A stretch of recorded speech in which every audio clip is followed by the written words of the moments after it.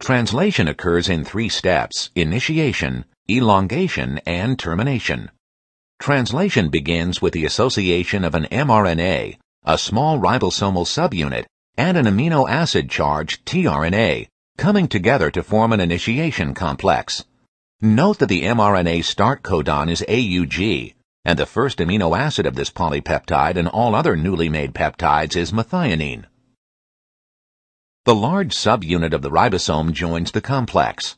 The ribosome contains three sites for tRNAs. The A, or amino acid site, accepts new tRNAs bearing amino acids.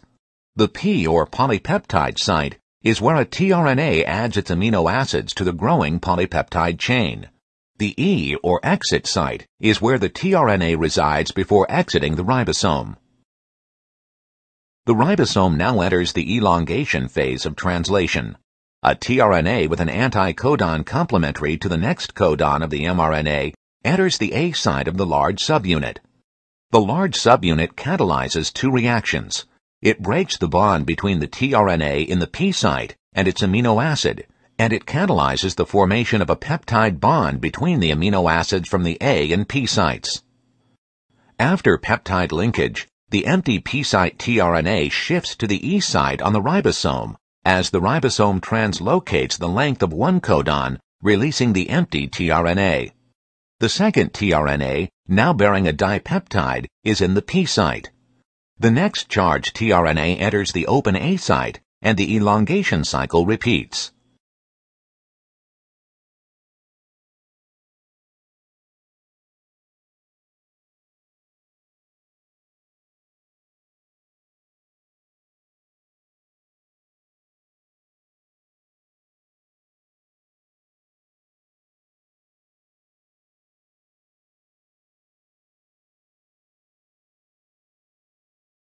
Translation is terminated when a stop codon, in this case UAA, enters the A site. Stop codons do not encode amino acids or bind tRNA molecules. Rather, they bind a protein release factor, which allows hydrolysis of the bond between the polypeptide chain and the tRNA in the P site. The various components of translation then dissociate from each other.